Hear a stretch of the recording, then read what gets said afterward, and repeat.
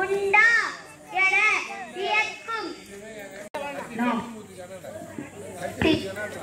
அவன் அடிமைப்பட்டு இருப்பதை உணர்த்தினாலே போதும். பிறகு அவன் தானாகவே கிளம்பி எழுவான். வெற்றியோ தோல்வியோ எது வாரினும் கடமையை செய்வோம் யார் பாராட்டினாலும் பாராட்டாவிட்டாலும் கவலைப்பட வேண்டாம். நமது திறமையும் நேர்மையும் வெளியாகும் போது பகைவனும் நம்மை மதிக்க தொடங்குவான்.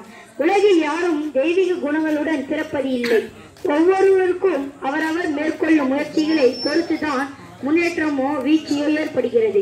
தன்னை உயர்ந்த ஜாதியாகவும் இன்னொரு மனிதனை தாழ்ந்த ஜாதியாகவும் கருதுவார் மனநோயாளிகள். மற்றவர்களின் எல்லா தேவைகளையும் பூர்த்தி செய்யத்தால் தான் எனக்கு நல்லவன் என்ற பெயர் கிடைக்குமானால் அந்த பெயர் எனக்கு வேண்டாம். எவன் ஒருவன் தானே சரணடையாமல் மற்றவர்களின் விருப்பப்படி செயல்படாமல் அனைத்தையும் சோதனைக்கு உட்படுத்தி அறிவை வெளிச்சத்தில் அள